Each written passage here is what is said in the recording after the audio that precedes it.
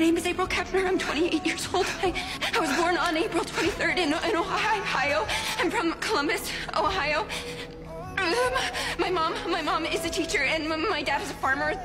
Corn, corn. He, he, he grows corn. Their, their names are Karen and Joe. I have three sisters. Libby's the oldest. I'm, I'm next, and then there's Kimmy and Alice. I, I, I haven't done anything yet. I haven't. I've barely. I'm not finished yet. No one's loved me yet. Please, please, I'm someone's child.